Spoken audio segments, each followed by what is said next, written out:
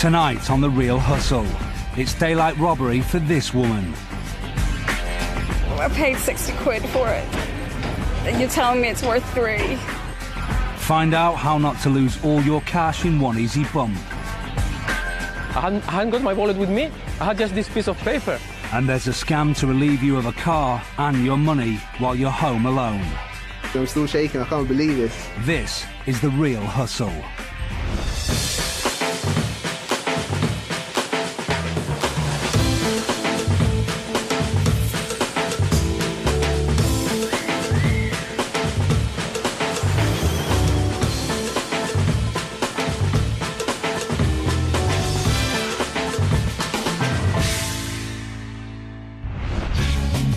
We're going to uncover the secrets behind the most popular scams being carried out by con artists in Britain today. Our real hustlers are Alex, a confidence trickster, Jess, a sexy swindler, Paul, a scam artist. They've been travelling the UK to demonstrate to our hidden cameras exactly how the cons work. All the people in this show have been hustled for real, and after being given their money back, they agreed that the footage could be shown, so you can avoid being ripped off by the same scams.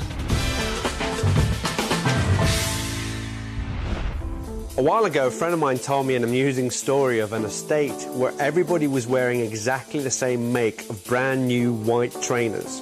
And what was more interesting than that was the way those trainers were acquired.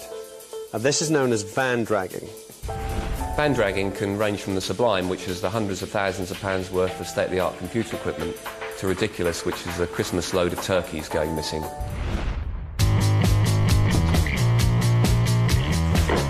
Here's how the villains operate van dragging. It's early morning in a city backstreet. These CCTV cameras are guarding the loading bay doors that serve a major electrical goods store.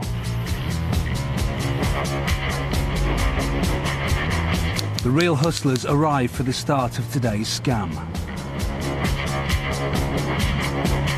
Jess scribbles two identical notes.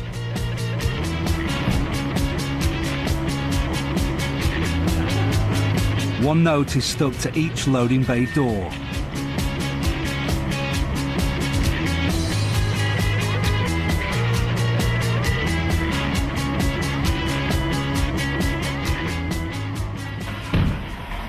So why do the team want delivery drivers to ring their number? Here's the answer. The team are going to park in the best place to observe the comings and goings in the street. The boys will wait out of sight while Jess keeps a lookout for any arrivals at the targeted loading bay. If a van does turn up, hopefully the driver will read Jess's sign and call her. She'll then send in Alex and Paul after convincing the driver to hand over the goods to her warehouseman. The hustler's van is parked here, enabling Jess to keep surveillance. Alex and Paul unload their trolley.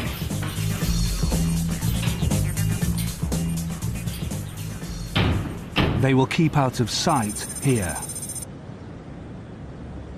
But the plan might come unstuck. Jess doesn't know it yet, but this is her delivery van arriving. It's early and it's turned the wrong way up the dead-end street. This is dangerous. It's going to pass right by Alex and Paul's hiding place. The driver will be looking everywhere for his loading bay, and if he spots the boys hiding, it will blow their cover.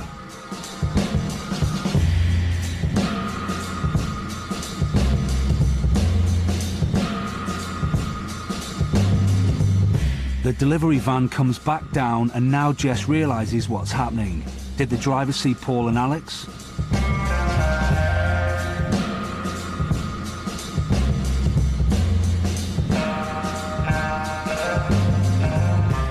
Oh yes, he's pulled up right next to the door.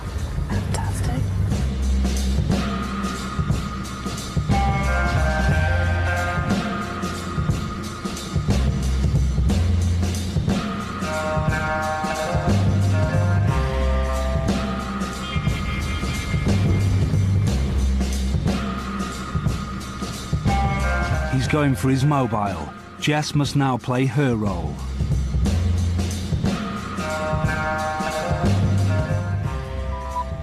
Hello, how can I help? Yeah, hi, we've got a delivery for you. We're outside, yeah? Oh, right. Okay, we're actually having problems with the door. Are you outside right now? Yeah. Right, I'm going to send a couple of guys round just to help. Thank you. Okay, they're on the way now. Thanks, bye. Boys, Come in. ready, go for it. We're on our way. The driver is taken in and unloads his cargo £10,000 worth of widescreen TVs. Meanwhile, the boys have come out of hiding. They're about to find out if they were seen or not.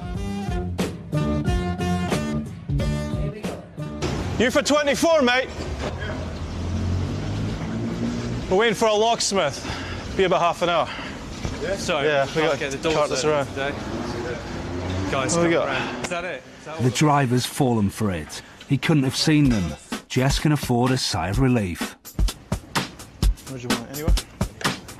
Paul signs for the delivery and joins Alex in loading up their booty. Go the other side. Hang on a minute,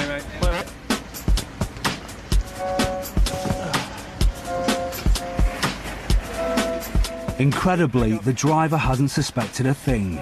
Not the crudely written note, nor the phone call, or even Alex and Paul decked out in fluorescent jackets and homemade security IDs.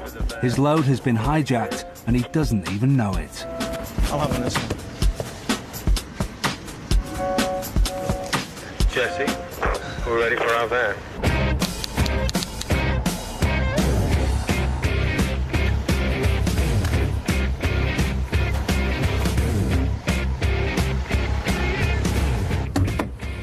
Well, how many? Twelve. Let's have a look. Way. Nice. I'll get the doors, yeah. Said you had somebody who could buy one of these. It's time to load up and get away. This was no What violent robbery, but a terrifyingly simple con trick oh, that has stolen £10,000 worth of goods under the unsuspecting gaze of CCTV and under the nose of a professional delivery driver.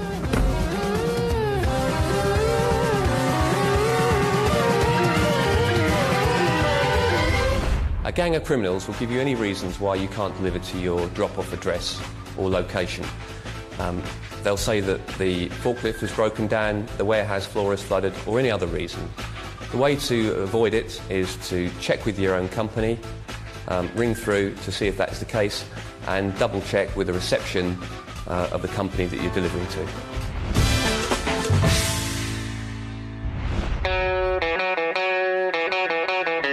This next hustle is about overhearing a telephone conversation and a bargain that's too good to be true. This is the eavesdrop cell. We're at a London market where Jess has set up what appears to be an antique store. But in fact, the most expensive thing is worth only £3. The aim of the game is to make a huge profit. Paul is going into this busy cafe. Inside, these two women are about to overhear a telephone conversation about an absolute bargain Paul's just spotted. 100. Alex is in position and ready to receive Paul's call. Remember, it's the two women who will think they are the ones who are hustling. Hello, Paul. Alex, mate. Hello, mate. You are not going to believe what I just saw. Paul makes sure the women can overhear everything he says. Remember that plate? Remember that really expensive plate that we saw? Um, Expensive Yeah, plate. was at that That's got the women's attention. Right. Yeah, it was the the Hollingworth Blueware, yeah.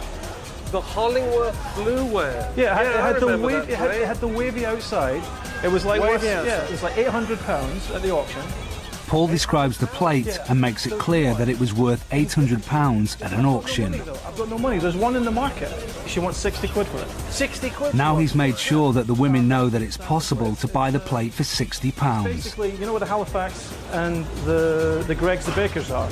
She, Greggs the Bakers, she's, yeah, I know. She's right in front of there. Are you going to be able to? And finally, he's explained where to find this bargain. I guarantee we'll sell. It. I'm going to go. Now the two marks have all the information they need to go out and make a fast buck. Well, it's on about some plate that's worth a lot of money and it's only 60 quid. Right, I think Paul's roped somebody, so Yeah, I think they're going to be coming down that way. We could try and sell it if, if it looks good, but let's go. Let's go and Okay. let's go and suss it out anyway. Having been suckered into the scam, the two women follow Paul's instructions to the stall to find what they think is the easiest £740 they will ever make. Hello. How are you? Fine, thank you. How much is this plate? 60. Can we have a look at it? Yeah, of course you can. Have a look at it. Here you go. It's quite nice, actually. Do you know anything about them? Absolutely nothing. Had a bit of interest already this morning, that plate. Have you? Yeah. People have been asking about it. I mean, there's actually a gentleman who came down earlier. I don't know where he's gone, but he was going to come back. So oh, oh, if it's like a race against time, I don't know. But well, I could be 20 towards.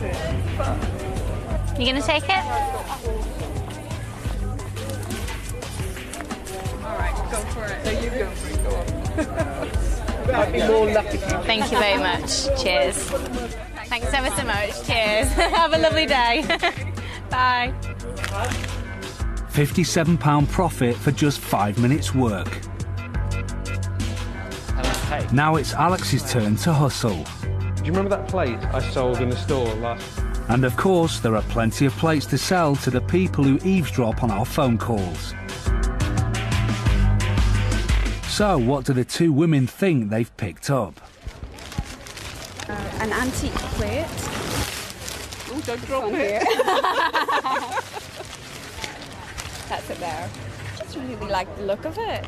Telling the truth. that guy. Well, we actually overheard a conversation um, of a guy when we were in the cafe who was talking about this plate, um, and apparently it's worth a lot more money than we paid for it. So we thought it was worth the risk. We're gonna try and sell it. So, how do they feel now they know what's happened? You're kidding. A bit silly.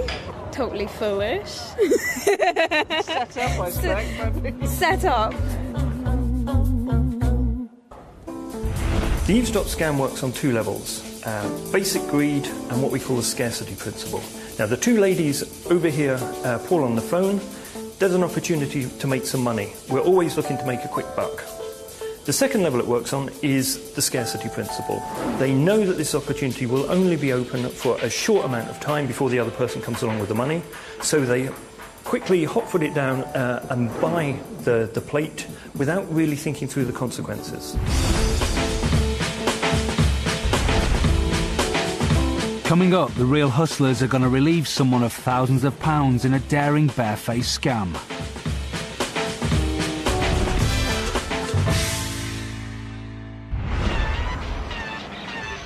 The real hustlers are going to show you how to get free drinks off your mates by using proposition bets on some unsuspecting customers in this local pub.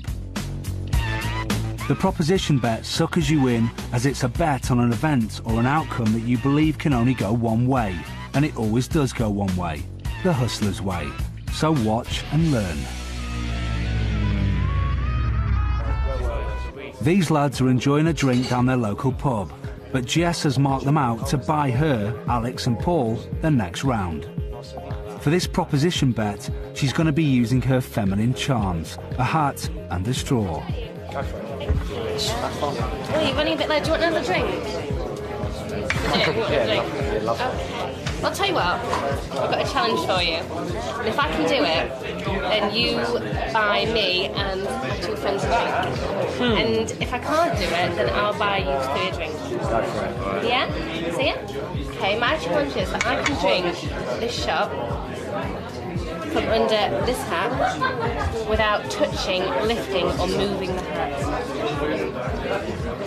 I Think you could do it? Go for it. Think I can do it? No. Do you think I can do it? Jess is convincing. It seems like an impossible task. If I can't do it, I'll buy Are you allowed to touch the hat? I can't touch the hat. Well, as it is now, you're not allowed to touch it. No, I'm not allowed. I'm not going to touch that hat at all. Go for it. Go You want to see it? Go, go it. Okay. The lads have been taken in and accept the bet of a round of drinks. I'm not going to use the straw to lift the hat, but I am going to use the straw to drink it. Shut. Okay. So I'll have a pint and Alex and Paul will have a couple as well. Right. Thank you. Prove it, go on. I've done it. Lift the hat. I don't need to lift the hat. I've done it, so I know. I need proof. Lift the hat. Can you lift the hat? It's still there. She's drunk the drink without lifting the hat, and in typical hustler fashion, collects her winnings. Yeah, he's fine. Yeah, But I've you're run out, fine of- now. I've run out of money. I've who's run out of buying, I'm money. not It's all buying. Hello, Charles. Stupid, stupid trick, innit? Very often in public places, you get signs or announcements warning of pickpocket activity. Now, people's natural reaction to that is just to pat themselves down, make sure that their wallets and their valuables are still in place. Now, you've just identified to a pickpocket where all your valuables are.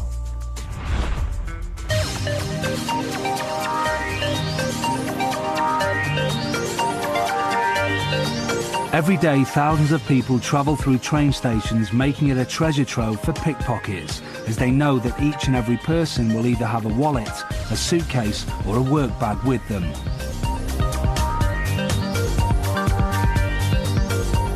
Alex and Paul are both busy casing the joint, looking for a potential mark. Pickpockets often like to work in pairs, with one looking for the target and the other doing the lift. Despite the amount of bags that are being left exposed in this station today, the boys are looking to lift a wallet. And all they need to perform this hit is a piece of newspaper and some chalk. This is known as the Phantom Wallet.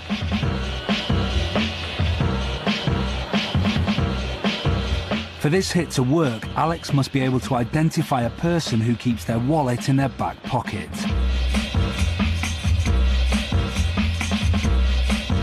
Alex has spotted someone patting his back pocket and moves in. Now it's Alex's job to make sure Paul knows who the target is and where the wallet is. And this is done with the age-old trick of using a bit of chalk.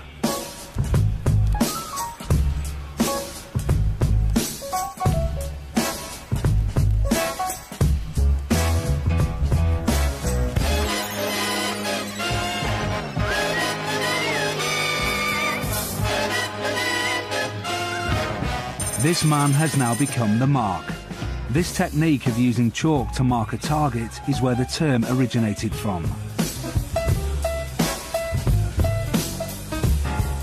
Alex has done his job, now it's Paul's turn. He spotted the mark and he knows that the wallet will be in his right pocket as Alex has placed the chalk deliberately on his right shoulder. Paul has to size up the shape of the wallet. The aim is to replace the mark's wallet with a piece of folded newspaper of the same size without him noticing.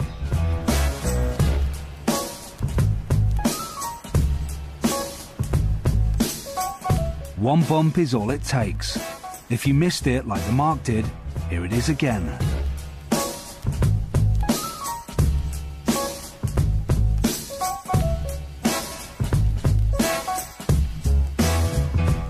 No sooner has the wallet been taken from the mark's pocket, Paul deposits it in Alex's umbrella, and they both make a quick getaway. The mark now has a worthless piece of paper in his back pocket, but it still feels like he's got his wallet. And it's only when he tries to buy something that he finds out that he's been robbed. Somebody pushed me. And then I, I thought I wanted some water, so I went to the shop to buy uh, a bottle of water. And uh, suddenly, when I went to pay for, for it, I hadn't, I hadn't got my wallet with me. I had just this piece of paper. At first, I thought I had dropped it or something, but later I was thinking about everything. I realized it was maybe it was this guy who pushed me. If you want to keep your wallet, don't put it in your back pocket. It's one of the easiest places to steal from. And if someone invades your personal space, think, could they have stolen something? And if you have to check your property, always remember someone might be watching. Out of sight, out of mind, out of pocket.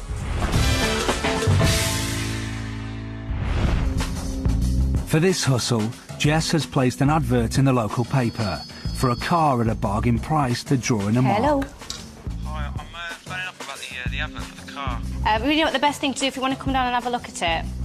That, that'd probably be the best thing. Um, Of course, our hustlers have no intention of selling a car. They're only after the money. The scam relies on front. The mark has to believe we are who we say we are. There are three important elements to this scam. The mark has to have a reason to bring his money. He then has to give us that money. Then he has to let us walk away.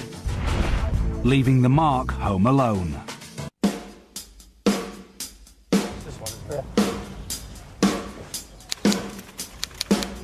Alex, Jess, and Paul have found an ideal property they know will be empty for the afternoon, and they know how to gain entry to a house.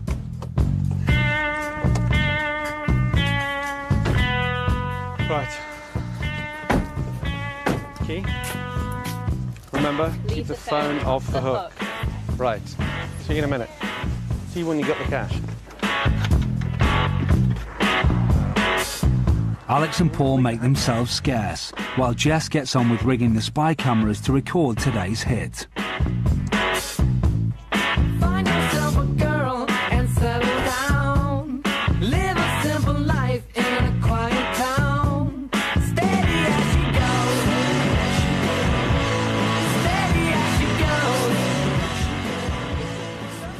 The mark a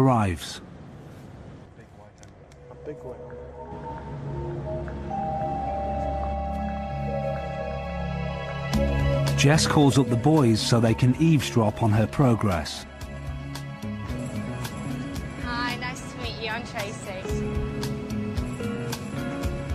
He gets down to business and checks out the car for sale. It's a bit messy. We're gonna. If you want us to give us a little hoover before, then. He seems happy enough and goes ahead with the purchase. There's so much trouble getting here anyway. It's important that Jess gets him inside the house to complete the transaction. But he doesn't realise that Alex and Paul are listening to everything that's said and are about to turn up posing as policemen. I think he's, uh, he's about It's all right, don't worry. I'll check the account now. Any other warrant? Jess takes the mark's money and goes to put it away in the drawer. But in reality, she pockets it. You sure you don't want a drink or something? The offer of a drink is the cue for the boys to ring the doorbell. Hang on, two seconds. That might be them just now. Tracy Rutherford. Yeah? I'm D.I. Steele. This is D.S. Mosley. We've got a search warrant for these premises. I think you've got the Let wrong my colleague through. Anybody else here, Tracy? As Jess lets the boys in, she passes the money to Alex, leaving Paul to intimidate the mark. I'm D.S. Mosley. We're here to search these premises for stolen goods. What's your name? You've got Alex Oh makes sure the God. mark can see that Jess has been arrested for having a stolen car, which he's just paid thousands of pounds for in cash. Well, when Johnny gets back. Do you have any ID? Right, get in the car. Their part over, Alex slips out of character as Jess slips out of the handcuffs.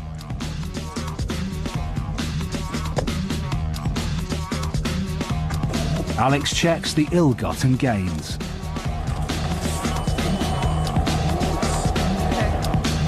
You came to pick up a car. Do you know it's illegal to buy anything that you know or suspect to be stolen? Believing Paul to be a real policeman, the mark is frightened that he too will be arrested and complies with Paul's instructions. All right, I'll check your story. If everything checks out, it'll be fine. Put your hands on the table. If you move, I'll arrest you. Do you understand? Stay there. Don't move.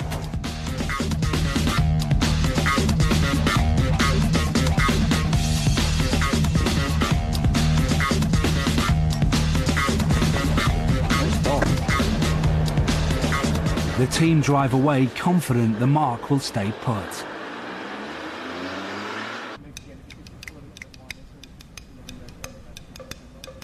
The mark is now home alone, and the minutes begin to tick by. After 10 minutes, the mark still hasn't moved. He is totally convinced by the team's play acting.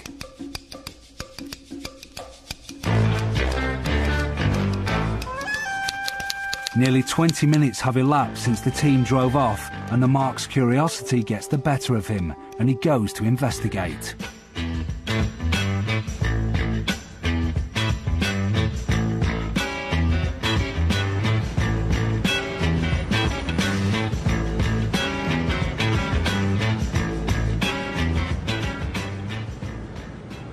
His face says it all.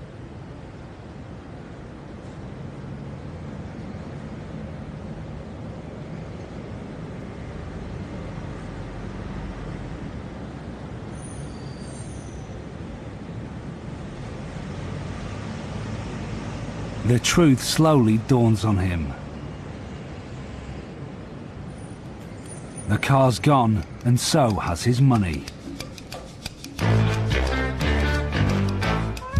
He came to buy a car. He gave the money to a friendly Jess, who was arrested as a car thief, and he was told to stay put by a police detective. Nothing is as it seems, apart from him being down thousands of pounds, courtesy of the real hustle. It's time for the Mark to find out what's really happened. So I'm, I'm shaking, I'm still shaking, I can't believe this. She just made me feel comfortable, and I sat down, I thought I was really relaxed. And the next thing I knew, doorbell rang, and 5 It's scary though. It's very scary, and I mean, if it can happen to somebody in real life, then I don't want to be that person again, definitely not. If this guy was really being conned, things would get a lot worse because the first thing we'd do as we drove away is we'd call the police. Remember, this guy's alone in someone else's house without their permission. Who's going to believe his story about three hustlers in a car? Also remember, if you find yourself in an unusual situation and you do get confronted by the police, don't be afraid to check who they are. Ask them for a telephone number where you can call and find out if they are who they say they are. If they're genuine, they should let you do that. Like us.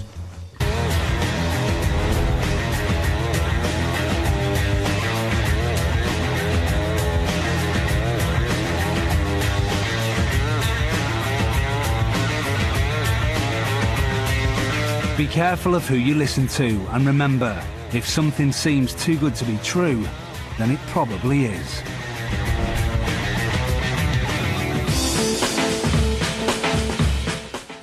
Well, coming up next on BBC Three, the lovely Jonathan Ross has some Japanorama for us. And then later we go MI5, not 9 to 5. I can't stop saying that. It's Spooks.